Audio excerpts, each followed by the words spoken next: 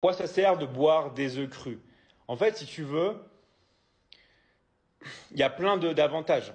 Mais le plus gros avantage, c'est vraiment d'avoir le jaune d'œuf qui soit liquide.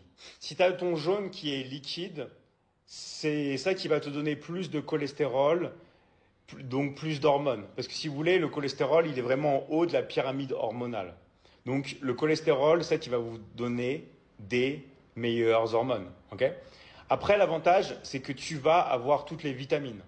C'est-à-dire que quand tu vas cuire, par exemple, le blanc ou le jaune, tu vas perdre les vitamines et tu vas perdre les enzymes.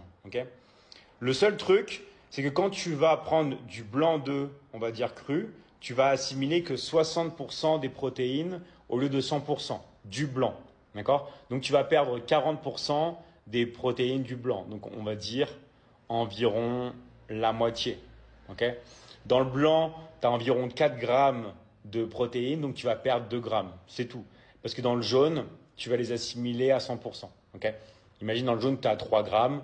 Donc au final, tu vas avoir 5 grammes au lieu de, euh, de protéines au lieu de 7. Mais euh, vraiment, il n'y a, a presque pas de différence par rapport à ça.